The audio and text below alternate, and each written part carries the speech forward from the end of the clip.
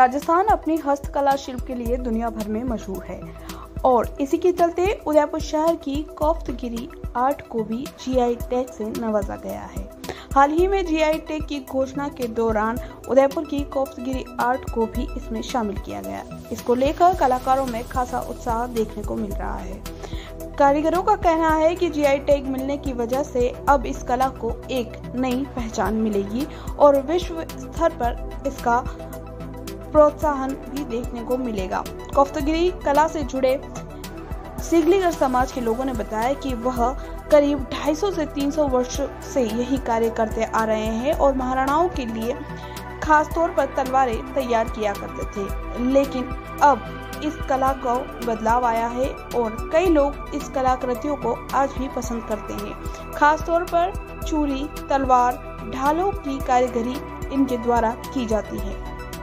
कोफ्तगिरी की आर्ट काफ़ी बारीक होती है और लोहे को पीट पीट कर छीनी और हथौड़ी के माध्यम से इसमें डिजाइनें डाली जाती है। वहीं चांदी और सोने का कार्य भी इसमें किया जाता है। पिछले सौ साल, तीन सौ साल से यही कला करते आ रहे हैं और अभी भी यही कर रहे हैं बहुत से जने। और इस कला को लिए हमने सबसे पहले रॉ मटेरियल मतलब कच्चा रॉ मटेरियल से तैयार करते हैं। फिर धीरे धीरे एक एक लेवल से तैयार करते हुए कंप्लीट पीस होता है।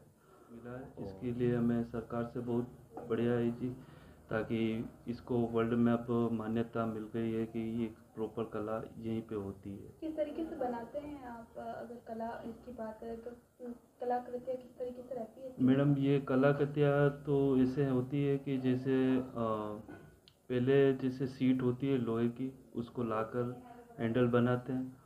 उसको हैंडल बनाकर वो हमारा भाई समाजजनों के अंदर ही बनते हैं। ये बाज़ार में कहीं प्रॉपर मिल नहीं सकते हैं।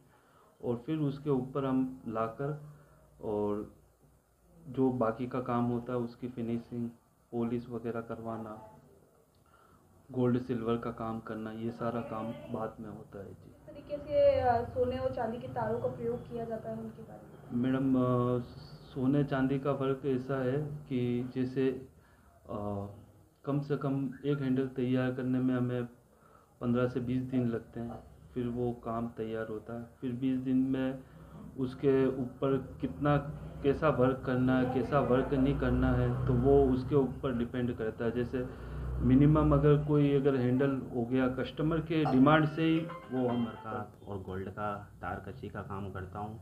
सन 2002 से काम कर रहा हूँ। पुश्तैनी काम है, मेरे दादा, पापा सब यही काम करते हैं और मैंने, हम पहले 10-15 कारीगर साथ काम करते थे, पर क्या है कि समय के हिसाब से कुछ कारीगर काम छोड़ दिया है। पहले साठ सत्तर कारीगर थे, अब हमारे समाज में बहुत कम कारीगर रहेंगे और सरकार से हमें जीआईटी मिला है जिससे हमें बहुत खुशी हुई है कि आगे हमारा काम और प्रॉपर चलेगा।